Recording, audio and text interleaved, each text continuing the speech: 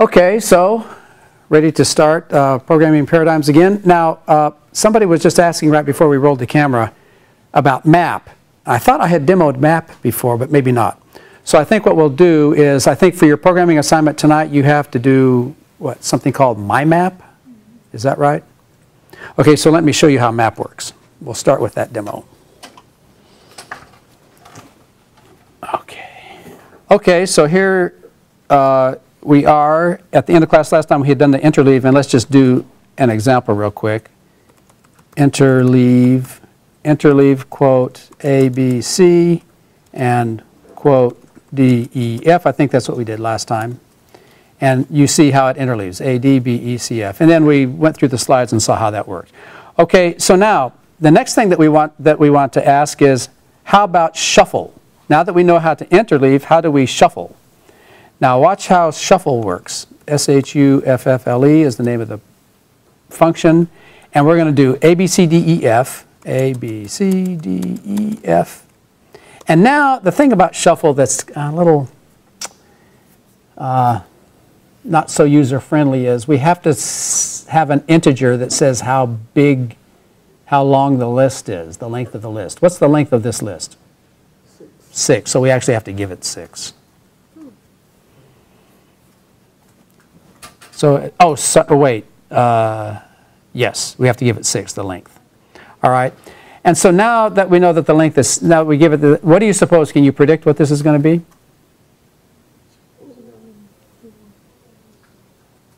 You, can you predict what's going to happen when I return? I mean, what does shuffle do? You know how to shuffle the cards of a deck? How do you shuffle the cards of a deck? You take the what?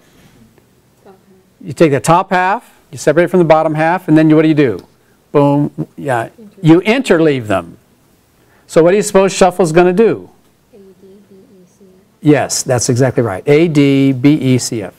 A, D, B, E, C, F. Is everybody clear on what shuffle does? Okay, so now can you tell me how would you write shuffle now that we know how interleave works? Define shuffle. How many parameters does it take? 2. So what would the next line be? List. Well, we'll call it deck because the deck is the analogy of a what? A deck of cards. All right. And, there, and, we, and we have to give it the size. That's just the way it is. And now, you guys, what should we do? What should this shuffle do? What do we need to figure out? Yeah, we have to separate the list in half. So what should we do with size? I think we're, what we're going to do is we're going to use a let statement here. So how should we define half? Size divided by 2, right. So it's going to be let. So is everybody clear on this? It's actually size plus 1 because it might be have an odd number. Okay? So we'll let, we'll let half be defined as the quotient of size plus 1 divided by 2. Sorry, of size plus 1 divided by 2, which is what the quotient gives us. Is everybody good with this? All right, so now that we know what half is, now, my, now how did interleave work? Do you remember, oh, you know what we should have done? We should have, do you guys remember how to take the first half and the second half of a list? Do you remember the, the um, wasn't there like a, didn't we write a first elements of? Yes. How did that work? First elements of, and it was like, is how did that work? It, was that like three and then, if you did, and then AB,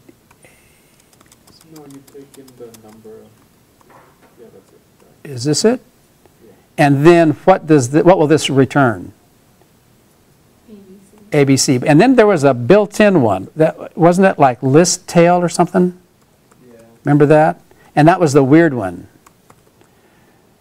How did that work? List tail. Now, how did list tail work? It was And remember we said, oh, that was a little funny.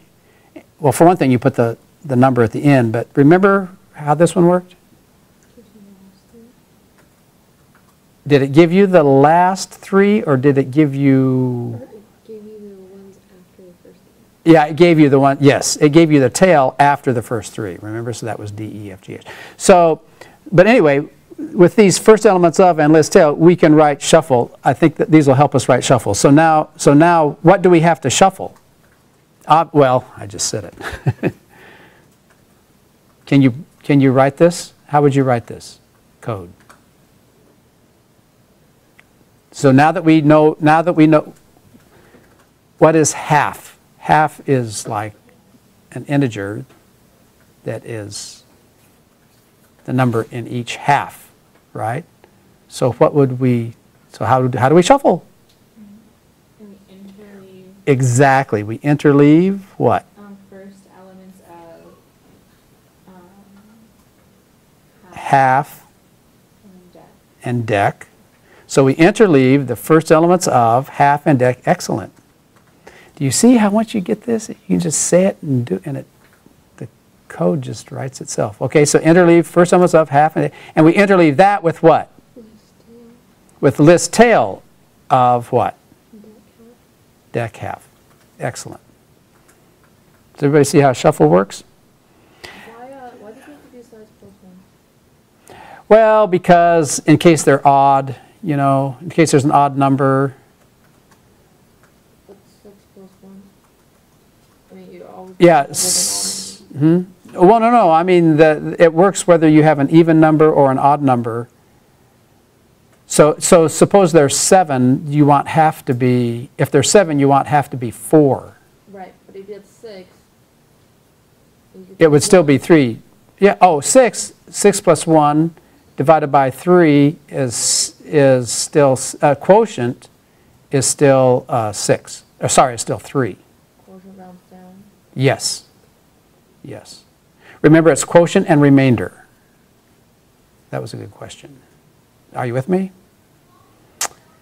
All right. Okay, and now you guys, what happens when you play cards with somebody? If you're playing cards with somebody, yeah, you win just because you're a good card player, you're a good poker player.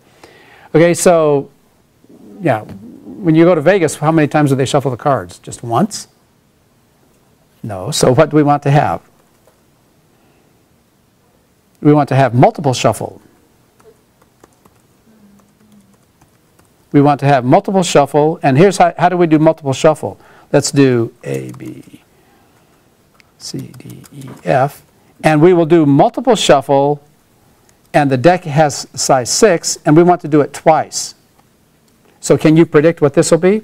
What would happen if we shuffled that once? It would be what? What would the order be? A, D, B, E, C, F. And then what would happen if we shuffled that? A, E, D, C, B, F. A, yeah, actually, we can look up on the screen. We can look up here, can't we? Is it the shuffle of this? So that would be A what? A, A- D, C, B, F. A, E, D, B, no, wait. A, E, D, C, B, F. Did I say that right? A, E, D, C, B, F. Yeah. So can you write multiple shuffle? Come on, let's write multiple shuffle. I Question? Shuffle, um, rather than having size be a parameter, can you just do length? Yeah. You could, and our author is, so the question was, instead of having size be provided by the programmer, you could have, you could call length on it. And that's, our author is very concerned about performance because that big theta event, actually, we're going to do, we're going to do an algorithm later on, we're going to do some functions later on where, where, where we are going to be concerned with performance. And so he's thinking, well, let's not, yeah, but that's, a- but you could. The answer is yes, you could definitely do that. And, and for these small examples, you probably couldn't tell the difference in the run, you know. Well, you, I, you couldn't, but anyway. All right, but anyway, so, so um, that was a good question. Okay, okay, okay, so let's define multiple shuffle. How many parameters does it have? Three. Three, and so what are they? So lambda what? Deck size. Deck size and, let's call it times. So what's the base case?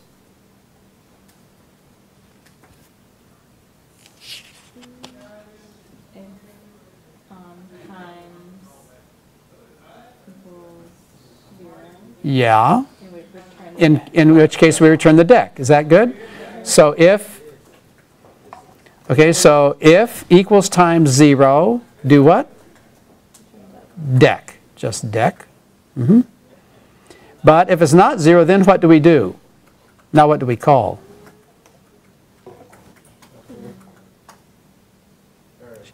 Uh, Yeah, yeah, we call multiple shuffle. Oh, no, wait. Uh, Oh, yeah. Yeah, okay, so we call, so what com- comes next? Multiple shuffle, and the first parameter is what? No. Shuffle deck. Shuffle, deck, what?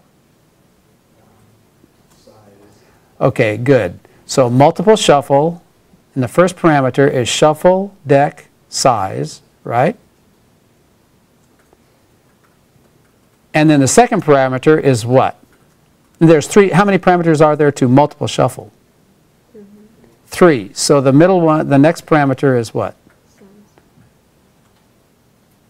Same size? Okay, and then the third parameter is what? Minus one is minus times one. Yeah, minus times, so size minus times 1. Does everybody see how that worked? Okay, you guys. Now, sorry, I, uh, I'm just now getting to this on the day that you have to do a homework assignment for it, but here is a demo of MAP. Check it out. What happens if I do SQRT of 5? SQRT is built in. What happens if I do SQRT of 5? U is square root of five. Yeah, square root of 5. 2.23606799749. Yeah? And what happens if I do this? If I do SQRT of, let's say I want to take the square root not just of 5, but of 5, 6, and 7. So suppose we do 5, 6, and 7. Now, first of all, do you think this is going to work? Why not? Why won't this work? Well, that's not, that's true, but that's not why this particular one won't work. Because what's it going to try to do when it evaluates that, when it evaluates the parameter?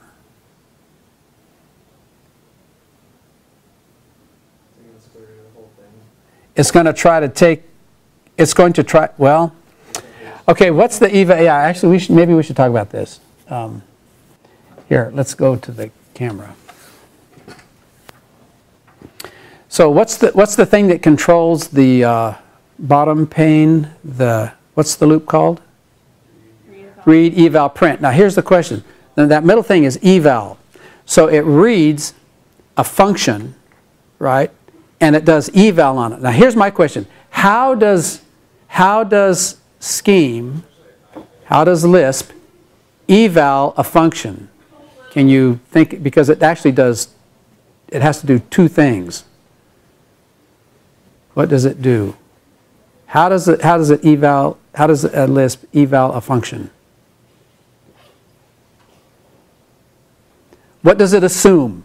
The, what does it assume is in the parentheses? The first thing. The first thing is, is a procedure, right? And then it assumes that what? The rest is a. The rest are parameters. So what does it do? So what's the first thing it does? What do you think? Hmm? Procedure. No, it doesn't reference the procedure first. It doesn't do that first. It has to do something else first. What does it have to do? Evaluate the parameters. Yes, it does. It's recursive. It has to eval the parameters. Are you with me? So it evals the first parameter, it evals the second parameter, it evals the third, third parameter, and then once it evals, and then what, do, what, oh, those are all functions. So what do those functions do? What, do those, what does a function always do? Returns a value. So it returns those values from those evals. Are you with me? And then, and only then, what does it do? It applies that function to those parameters. So does everybody see that it has to eval the parameters first? Are you with me? Okay, good. So now let's go back to our demo. So look, what does that mean? what's the first thing that the eval is going to do when it gets, when it, it's going to read parentheses SQRT, paren, 567, paren, paren, and what's the first thing it does when it evals this? Evaluates a parameter. It evaluates a parameter, and what's it going to do when it sees the 567? It's going to do what? It's gonna error. It's going to error, yeah, it's going to error because 5 is not a procedure. See? It's given 5. Ah, that's not a procedure, because this, here it's trying to eval the parameter. Are you with me? It evals the parameters first. Okay, well, wait a minute. If it won't work that way, maybe it'll work this way. SQRT, maybe it'll work, see now, how do we, so how do we prevent the evaluation of, yeah, it's with single quote, right? Mm-hmm. Five, six, seven, which we saw was actually an abbreviation for this. Quote, five, six, seven. See, it's actually an abbreviation for that, all right? So, but let's do quote, five, six, seven. And now, it's not going to try to interpret the five as a parameter, because it's going to, are you with me? Is everybody with me? And that's what quote does. But now what's going to be the problem? I think we're going to have another error, right? Because what does SQRT expect? It's a contract violation. What does SQRT expect? It expects a number, right? And eh, we didn't give it a number. What did we give it? We gave it a list, and so it can't do it. Too bad. But now, what comes to our rescue? Map. Now map comes to our rescue. Now what we can do is if we want to apply one function to several items in a list, we can map SQRT to the list um, 567. Are you with me? And now can you predict what this is? Yeah, square root of 5, square root of 6, and the square root of 7. So it gets mapped. That function gets map, mapped to each one of the items in the list. And now your question was, I think the question that you asked at the beginning of class was, what map does, because what you have to do for your homework tonight is write my map. So now, is that, are we good? Do you see what you have to do?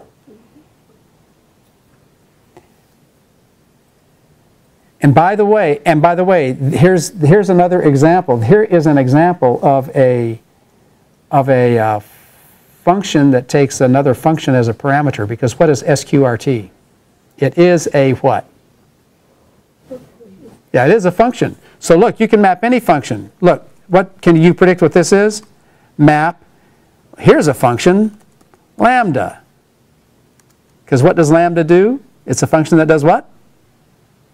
Returns a function. So here, let me do, let me do, let me say lambda, lambda x, okay, and this lambda x is going to be less than x 6. Now, does everybody see that that is a function? Parentheses lambda, parentheses x, parentheses less than x6, paren, paren. Right? That's a function. And what happens if I apply that to 5, 6, 7? True, false, false. Yeah, true, false, false.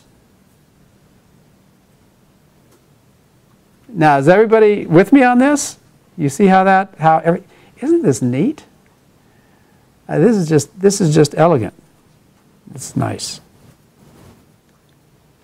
Okay, now, next uh, function that we're going to demo is called uh, reverse. Actually, there's a built-in reverse. So if, if, if we reverse A, B, C, D, obviously what is reverse going to give us? DCBA. But because it's built in, we want to do my reverse. Okay? So now, um, in order to write my reverse, what, what we're going to do is we're going to do this in two steps. Okay? We're going to start with we're going to start with a function that we're going to call add to end. Now watch this. Add to end. um, quote, and the list, A, B, C, D, and then X. Now, can you tell by the name what add to end X is going to do? Yeah, so what gets, is- it will add X to the end of the list, and so what will get returned? ABCDX, yeah. And what's the base case? Add to end, what's the base case? Hello, what's the base case? Empty list. Is everybody good? And what will that give us? Boom. Yeah? Okay, so now how in the world are we going to do, to do add to end? Well,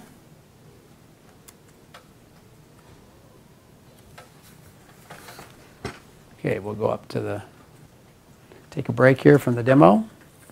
So here is the concept behind add to end. If we do add to end, quote ABCDX, then the question is how do we do that? So now what is the car of ABCD? It's A. What's the next thing we're going to ask?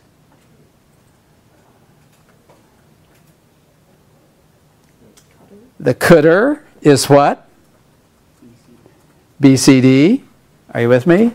So here's the, the cdr of ABCD is BCD. So tell me, how do you use the car and the cdr of the first list to make progress to adding it to the end? Well, yeah. Yes, you have to break, that's what we're doing. We're breaking it apart and putting it together. But how? I mean, because do you see that BCD is BCD is a shorter list than ABCD. So what so how could we approach this? Add to end. Oh, you're going to write Okay, so you would add to end the what? the. Cdr The first, cdr- and then The cdr Yeah, how's that going to work? Um, Reverse the list we have, then start a new list with X and keep adding things. Well, okay, yeah, yeah, okay. Here's, here's the thing. We don't want to use reverse because what we're going to do is we're going to, we're trying to work on, we're trying to work, we're trying to write my reverse Using this. using add to end. Okay. So the whole idea is how do we write my reverse to do what reverse does? So we don't want to use reverse in our solution. See what I mean? This is an exercise to write. So you're gonna add a to the end of. Well, Yeah, yeah, say it again. So, so basically what, well, no, no, no, you're going to add what? Eh, ha- Would you cdr it Oh, down gonna add a into? on the end of X.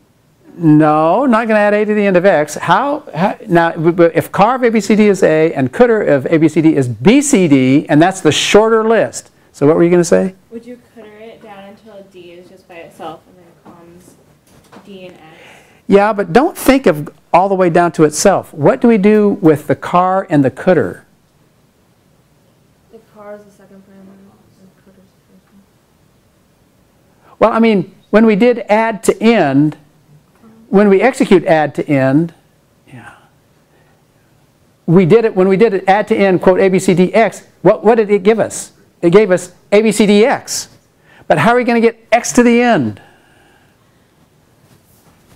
I think, You're, yeah. you keep calling add to end with the code of the list until it's empty, but you have to, Okay, but you have to keep putting on the car of the list as you take it off. yeah, Thi- yeah. See, this is where it just has to click. And it, like the opposite way. Well, look, you've got BCD. Do you see that what we're going to do, add to end is going to call itself recursively, right? It needs to call itself recursively with a what? With a smaller, it needs to call itself recursively with a smaller list as its first parameter. Are you with me?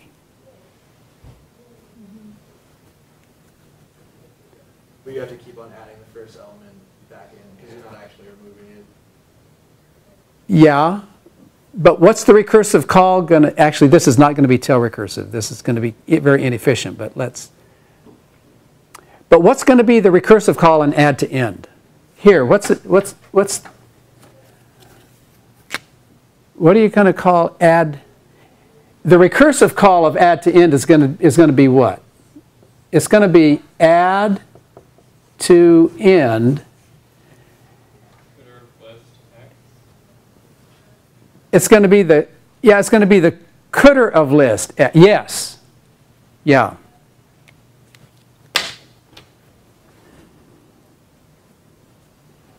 So here, so, so if you do add to end BCDX, what do you get? I mean, we assume that recursively that will give us what? Uh, sorry, if you do add to end quote BCD uh, quote X, that's going to give us BCDX. But then what do you have to do to that to get, Cons, car on the list. yes, you have to, you have to put the A. You have to cons the what? The car of the list into the add to the end of the, of the cdr of the list to X. Ah, yeah, we just said the whole code. Is everybody, does everybody see how that works? Okay? Okay, so here, let's go back to our demo. Now watch.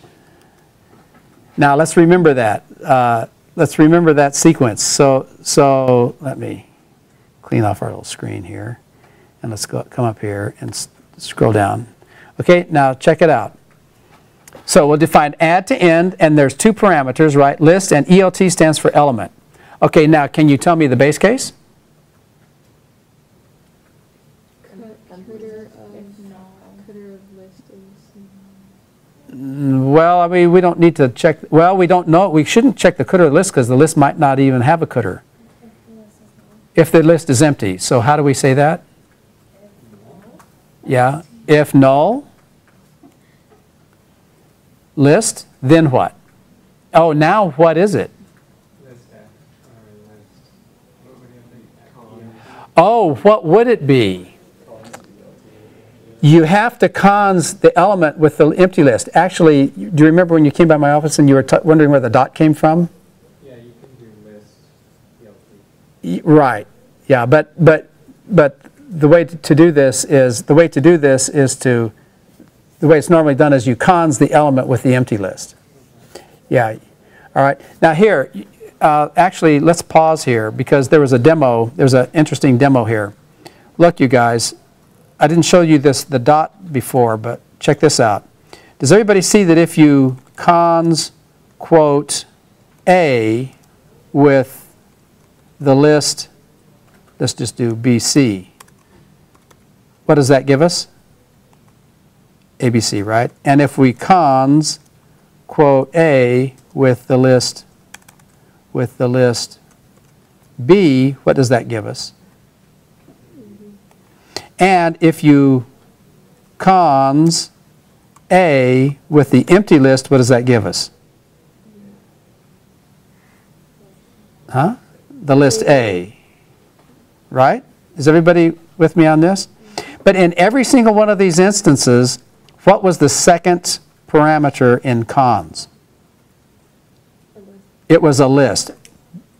Check this out. What happens if we cons quote A with quote B? Now what's the problem? The second element is not a what? A list. So what would you kind of think if you were, is this, should this, I think this should be an error. And in a lot of Lisp programming uh, community, it's commonly frowned upon. Unfortunately, it's not an error. It gives you this dot. Okay? So we're not going to go there. Uh, using dot, you know, use, you know, because now what we have is not really a list, it's a dotted pair. Do you see what I mean? And a dotted pair isn't even a list, so now we're out, so now we're, now we're not talking about lists anymore. So that's why we don't, that's why we don't cons, that's why we don't just return the element. You know, we have to return a list with the element in it. Okay, so, so that's the one element. But if it's not a one element list, now if there's, now we, now what do we know? At this point, what do we know if we, when we do the false part? What do we know about list? It has a what? It has a, it's not, it's not empty, so what does it have? It has a, it has two things. What does it have? A car and a cdr. Okay, are you with me? Okay, now it has a car and a cdr, and we can take the car and the cdr of it. So now, and so now, what do we, now what do we say it was? We cons the what? The car of list. So the cons the car of list with add to end, of the cdr list and the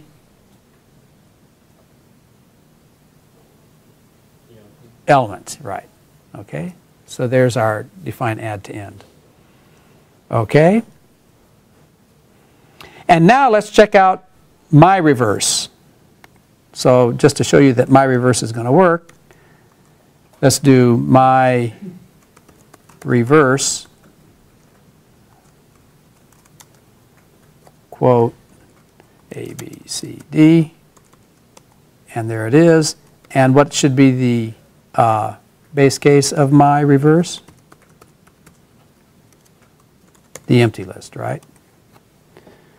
Okay. So, can you write my reverse? Inefficient version of reverse. This is my reverse. How many parameters does my reverse take? One. One. So that'll be a list, LST. And what will it do now that we have add to end? What's going to be our base case for my reverse? If null list, you're right.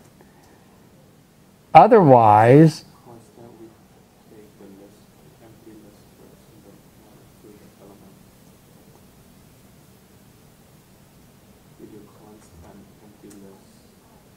cons. No, no, no, no, no, no, we, we, we have to cons an element.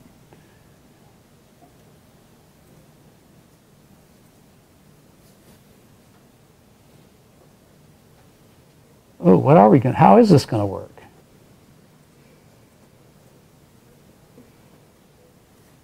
the car list, Yeah, what, yes, we're going to cons the car, so yeah, what is the car of the list? What, when we said my reverse ABC, what was the, what was the car of the, of the list? It was A, right? So what do we, so we want the cons, oh, wait, I'm sorry, I forgot to show you that if it's the empty list, we just return the empty list. Otherwise, oh, I just showed it. Okay, so otherwise, what do we do? We, how did add to end work? How did that work? Add to end, quote, A, B, C, D, X. So what does, so what does this add to end do? Add to end takes a list and the thing to add to the list. So what, so to add to the end of the list. So what, so what is carve list? Over here, what is car list in this example? See, there's the what? The first element. Yeah, there's the first element. And we do what? We add that to the end of what? Mm-hmm. Oops, whoa, I did, whoa, whoa, whoa, whoa, whoa, whoa, oh my. Hold on. Just ruined my demo.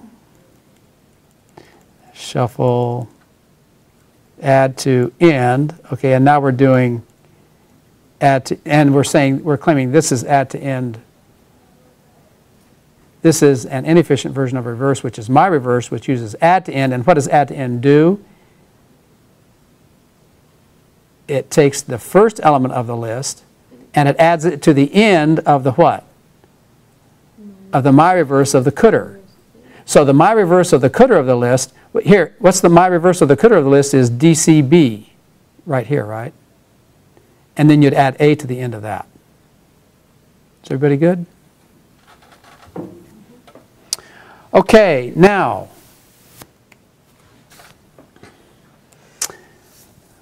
But here's my question. What is the efficiency of add to end? Now, we haven't actually done very much of this uh, before, and uh, for those of you who are in the data structures course, we just talked about writing, what kind of an algorithm is this? Is, is it a loop, iterative with a loop, or is it a recursive? Recursive. Yeah, it's recursive. So what, in order to figure out what the statement execution count is, what would we have to do? Write the recurrence and then solve the recurrence. But can you do, but we're not going to do that. I hope we can just understand by looking at the code what the, what the efficiency is. Can anybody tell me what the big theta of this is if the, if the element has n, if the list has n elements? Nope, not, it's not, answer is not 2 to the n. I would say close but no cigar, but 2 to the end is really not, isn't even very close. Sorry. No, that's even worse. No, hold on, oh, wait, wait, wait. Before we, yeah, uh, there's, there's, functions are flying all over the place, and I don't think I heard the right one yet. Wait, wait, let's think about what does this do? I mean, add to end, what does it do? It calls itself, how many, how many times does it, if the list has n elements, what does it have to do? It has to call itself n times, boom, boom, boom, boom, boom. It's just like as, as if a loop were to go through n times. So now can you tell me what is the efficiency of add to end? Big theta of what? n. Now, is everybody clear on this? I know this is conceptual. We haven't actually mathematically analyzed this, but can you see that? It's like, I mean, when it, it calls itself, n- it, it just calls itself n times, right? And then it just calls itself n times, and then, and, and furthermore, there's only one call. There's no tree or anything, right? It just it calls itself, and then it unwinds the runtime stack. Yeah? So that's n. Is everybody with me on this? Okay. Now, what about my reverse? What's the efficiency of my reverse?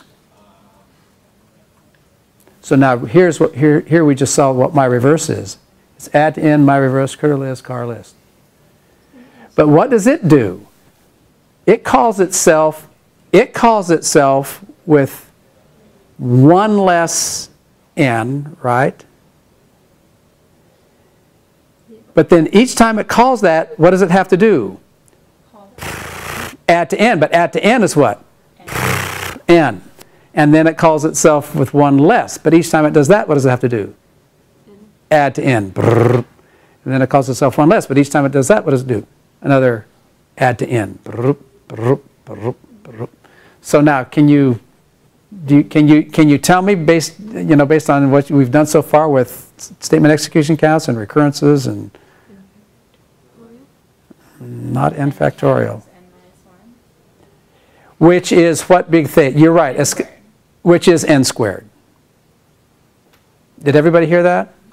It's like it's, it's like it's a nested loop, and the outer loop goes n times, and the inner loop goes, well, yeah. It's like, yeah, it's like n times n minus 1. And, and the answer is it's n squared, big theta of n squared. So this is big theta of n squared to do, to reverse. But now look, what, what should it take to reverse a list? You know, you ought to be able to reverse a list in what? You ought to be able to reverse a list in order n times, right? And that's what we're going to, so what we're going to do at the beginning of class next time, tomorrow, is we're going to um, see how to make a better, a more efficient version of my reverse. We'll call it your reverse. Yours will be better than mine. All right? Good deal. See you tomorrow.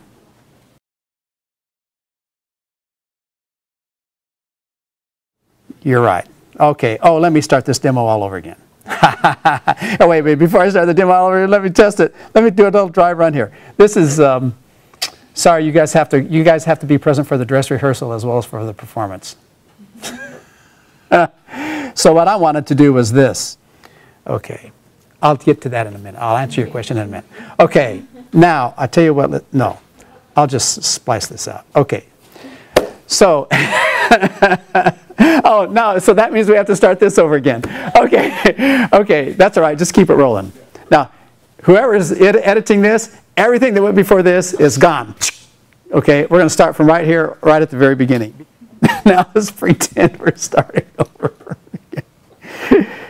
Okay, all right. Ready for another day of uh, formal methods?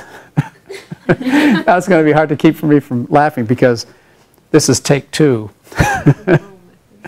Oh, oh, this, I said formal methods. Oh, okay, take three.